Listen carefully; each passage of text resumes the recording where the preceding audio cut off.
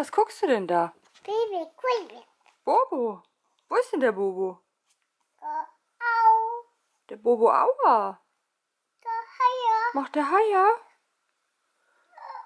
Wie heißt der? Mama, au, Haie. Mama macht auch Haie. Sag mal Bobo. Bobo, Gott. Genau, Bobo. So, sollen wir deinen Kalender aufmachen?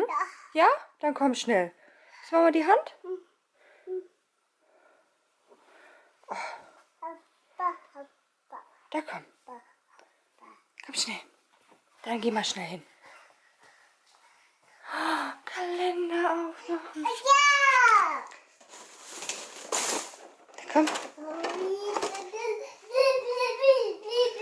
So, heute ist die 5 dran. Hier ist die 5, warte. So, und jetzt du. Dann mach auf. Oh, was ist denn da drin? Oh! Was ist denn das? Eine Ziege oder? Oh, wie toll!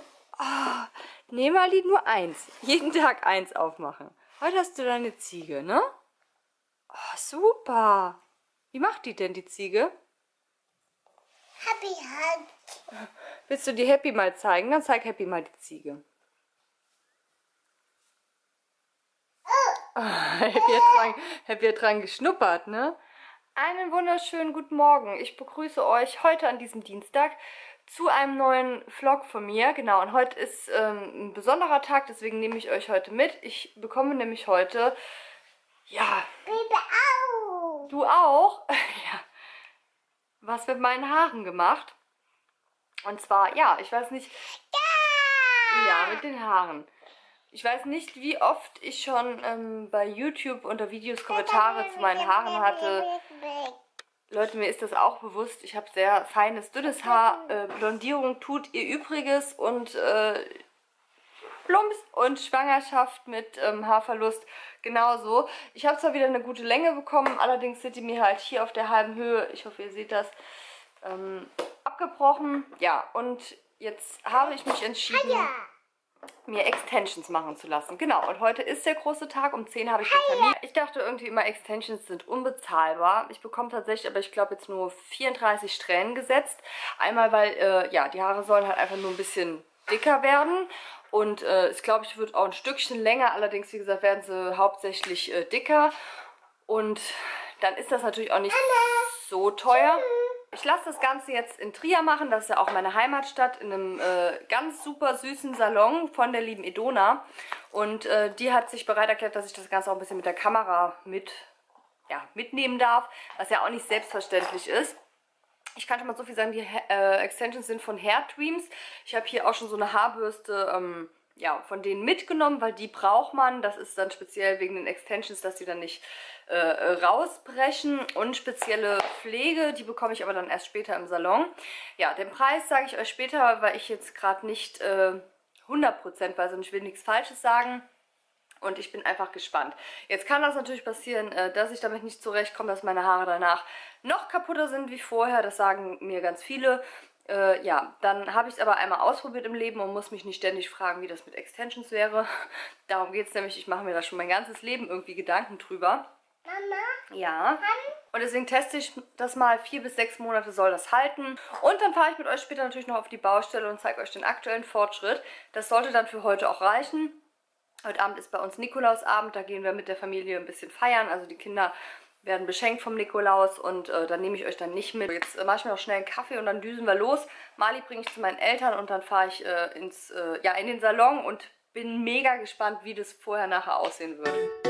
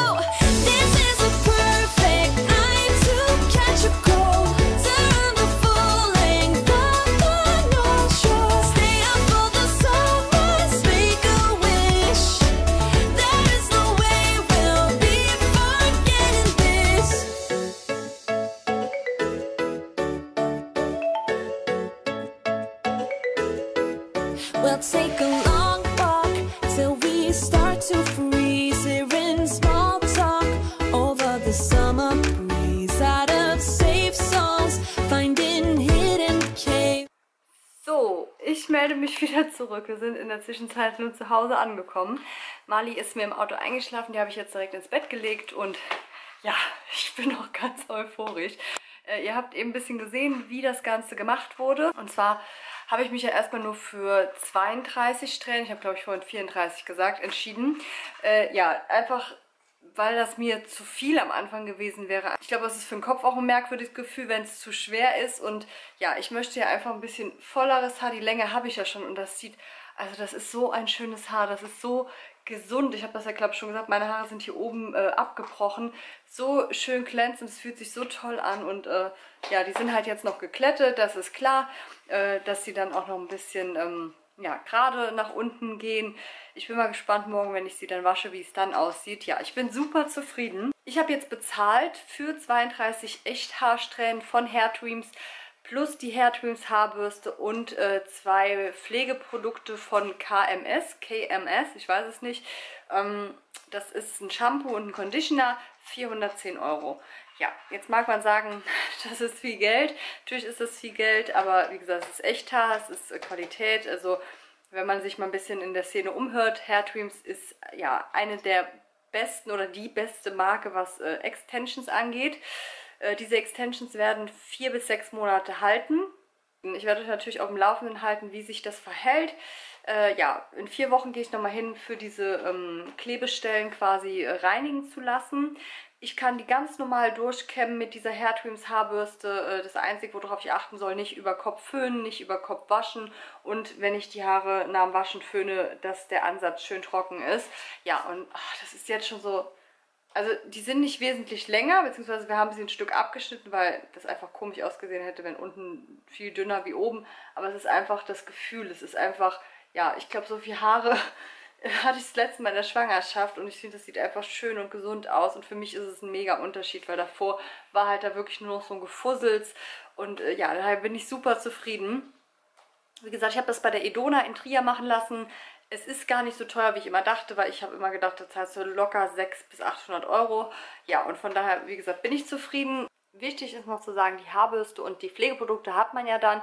Das heißt, beim nächsten Mal wird es auch ein bisschen günstiger, weil natürlich nur die Haare und das Reinmachen dazu kommen. Ich bin gespannt, wie ich jetzt damit zurechtkommen äh, werde. Genau, ich bin super happy und ich setze euch mal die Facebook-Seite, die Instagram-Seite und die Webseite von Idona unten in die Infobox. Ein super schöner Salon und äh, ich glaube, ich werde das nächste Mal auch zum Blondieren dahin gehen. Also ich war vorher immer woanders und äh, ja, ich fand es einfach so schön eben auch an Atmosphäre in dem Salon. Die beiden Mädels waren so zuckersüß und einfach nur total lustig.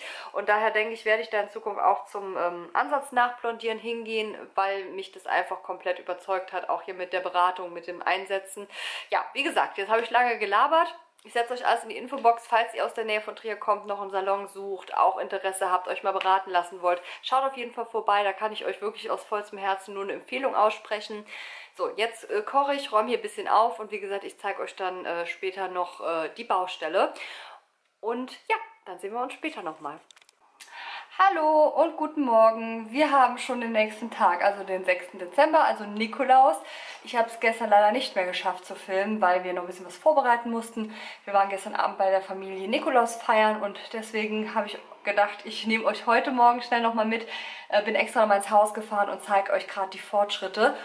Ja, ich glaube, wir fangen gerade hier im Bad an. Äh, hier hat sich nämlich wieder am meisten getan. Und zwar, unsere Badewanne sitzt. Oh, ist das nicht schön? Die ist auch schon äh, eingemauert, genau. Wir haben ja hier ein ähm, Exemplar von äh, Villaroy und Boch. Ist eine Sondergröße, 1,80 Meter mal 80 breit. Also ich hoffe, das kommt auf der Kamera so rüber. Aber da passen locker zwei Personen rein, dadurch, dass sie auch so eckig geschnitten ist. Ja, hat man viel Platz. Äh, wir haben die über reuter.de bestellt, weil die Sachen da wirklich viel, viel günstiger sind. Und ähm, ja, das Vorwandelement von der Toilette ist auch schon drin und ja, ich will jetzt nicht sagen gemauert, sondern ist ja Rehgips drum, also ist auch schon verkleidet. Und mein Schwiegerpapa war schon ganz fleißig und hat hier schon angefangen, die Fliesen zu legen. Zumindest die Reihe.